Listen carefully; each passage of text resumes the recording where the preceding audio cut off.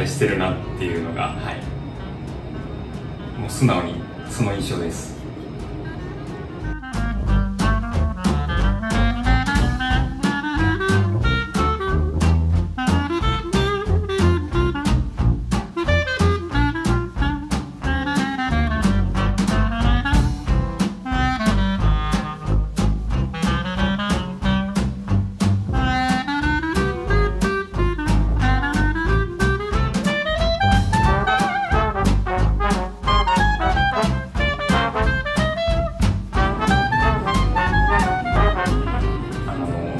の V6T で入れると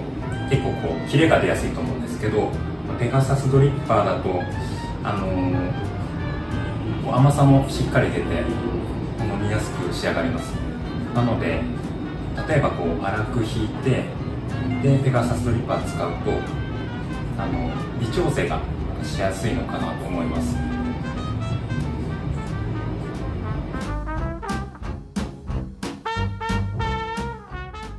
台形になってることによってあの粉が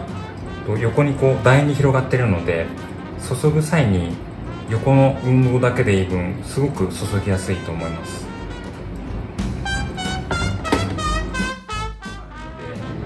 一回こうレシピが決まれば毎回同じような味を再現できる再現性が高いドリッパーだと思うのでとても使いやすいと思います。